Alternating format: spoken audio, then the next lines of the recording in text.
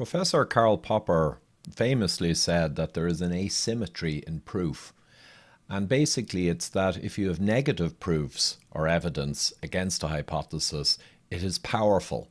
So, a single piece of negative evidence conflicting a hypothesis kills the hypothesis.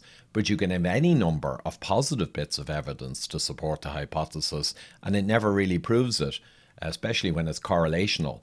So, rationalground.com, thank you for this, gives us an exemplar, which is Florida, which I've often referred to. And we see that Florida did, in late September, uh, drop the lockdowns, the mask mandates, and also open schools, etc., and businesses. So, how did they do? Well, Florida over the last four months has beaten the hard lockdown states, including California, which is a similar climatic type region, so great compare. Uh, so Florida has romped home, even though it has a higher elderly population. Okay, so it's an excellent Popperian example of a negative proof that can stand alone. But we have many, many more, including Croatia and Sweden and countless other examples. So we are bristling with negative evidence for lockdown effectiveness. So we'll scroll down here and it's well compiled. We see the total increase in per capita or per your population mortality. Uh, Florida is winning there as well, in spite of having more elderly people. Right, so an excellent exemplar. We see that deaths per 100,000 for seniors over 65. They are winning big as well, with no lockdowns, no mask mandates, and pretty much open for business percent of students offered in person instruction uh, versus the rate of paediatric cases. Florida has 100% students offered real schooling, and the paediatric cases are the lowest. Look at California, Illinois. Right.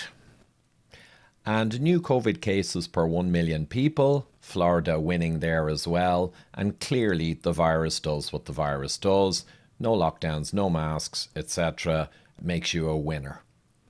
Hospitalizations per 1 million people, unsurprisingly, winning again, in spite of the older population in Florida. Governor DeSantis has played a stormer. He's brought in in September Professor Michael Levitt and professors from Harvard and Stanford who know what they're doing, and that's how he was so successful. Florida versus the top five most populous states, they're doing best in unemployment rate as well against the white line, which is the national average. And Florida home sales, tricking along nicely. And this one is the final punch in the gut for the lockdown supporters. Florida is the third in the nation for people streaming in migrating into Florida. And I've heard this from my medical people in Florida as well. Uh, they're inundated with people of means who are flooding there to live normally in a scientific state. So there you have it. Florida wins big and gives us a beautiful Popperian example of evidence against a flawed hypothesis. So lockdown may nudge down the curves, may have some effect, but we see from other data that it will promote strain development and evolution of strains and will cause horrific damage of all other types. So it's the worst single intervention, probably in human history, aiming to improve health. Thank you. And just a reminder that I do need support to continue putting together all of this content.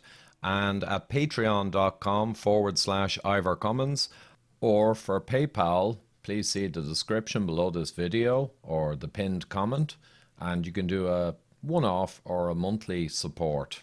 So I'd really appreciate that guys and keep me getting the science out there and countering perhaps the more biased corporate type science. Thank you.